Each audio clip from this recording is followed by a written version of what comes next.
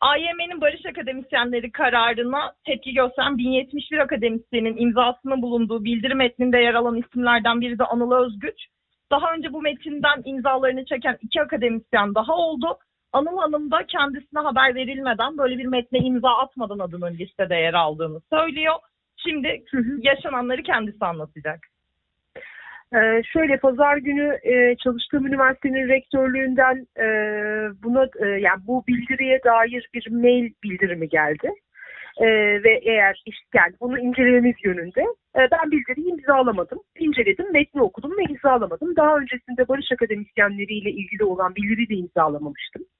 Ya hı hı. tabii ki bu benim bir siyasi görüşüm olmadığı anlamına geldi. Sadece akademik kimliğimle siyasi görüşümü karıştırmak istememiştim. İnceledim ve kapattım altında da bir buton vardı. Yani eğer imzalamak istiyorsanız tıklayın diye. Bunu tıklamadım.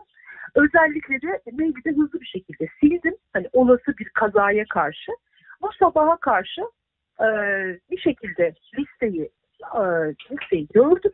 E, internet gazetelerinde, basında ve ismimin orada olduğunu gördüm. E, kesinlikle buna onayım, bir onayım yok, bilgim yok bununla ilgili.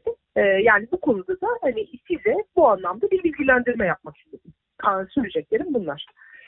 Peki herhangi bir şekilde rektörlük de size bu bildiriyi ilk olarak hani imzalayacak mısınız, imzalamayacak mısınız diye gönderen merciyle herhangi bir iletişime geçtiniz mi? Bir açıklama yaptılar mı isminizin neden yer aldığını? Yani e, şöyle e, şöyle bir açıklama yapıldı. Doktor öğretim üyesi ve daha üstü olan akademik ünvanlara gönderiyoruz. Bununla ilgili herhangi bir e, tavrımız yok ama size bir şey de gönderiyoruz. Deneyin yapın dediler. Yani ben de şöyle düşündüm. Yani eğer istersem imzalarım, istersem imzalamam diye düşündüm. Çünkü böyle bir tavır vardı. Ve imzalamadım. Ee, ya öğretim görevlerine gitmedi. Doktor öğretimi, doçenti, profesörü de gitti. Ee, ama dediğim gibi listede isim görünüyordu. Ayrıca bununla ilgili böyle hani sabah bir şok yaşayınca üniversitede acaba benzer durumda olan başka öğretim üyeleri de var mı diye hani şöyle bir hani arkadaş hani çevresinde bir hani yokladım. Birkaç kişinin daha bu anlamda ismi olduğunu gördüm. Sonra T24 haberlerini incelerken daha öncesinde de kullanıp zaten hani takipçiyim. Bir akademisyenin tanımadığım biri başka bir üniversiteden benzer bir hani serzenişinin ve benzer bir şikayetinin de sizin haberlerinizde yer aldığını görünce sizi aramak istedim.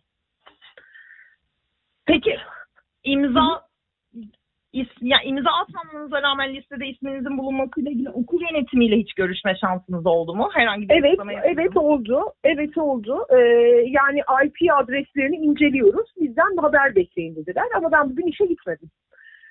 Yani biz, e, bizim bilgimiz dışında e, oldu. Biz bunun incelemesini yapıyoruz. Teknik bir hata olmuştur gibi bir ifade kullandılar. Ama hani bunu da çok samimi bulmuyorum açıkçası. Peki siz bununla ilgili herhangi başka bir adım atacak mısınız? Evet atacağım. Yani bunun benim bir hukuki haklarımın saklı kalması yönünde. Bunu bir hani resmi kanaldan rektörlüğe bildireceğim. Ee, becerebiliyorsam işte ba, hani e, hani bunu tekzip etmeye çalışacağım ama hani hani hangi bir internet sitesinde, hangi bir haber kanalında hani çünkü çok fazla biliyorsunuz. Hı hı. Bir yerde yayınlandı. Hani buna engel, olabil, engel olamayabilirim. Yani listeden adımı çıkartmaya çalışıyorum aslında. Ama hani bu çok mümkün olmayabilir. Ama en azından siz ve benzeri bir benzeri kanallara ulaşarak ve işte Noter'den de e, çalıştığım üniversitenin rektörlüğüne bu anlamda bir bildirim, bir ihbarname yaparak en azından böyle bir şeyde imzam olmadığı, yani benim burada bir iradem olmadığı yönünde bir belgeyle bu durumu sabitlemek istiyorum. Başaramasam da.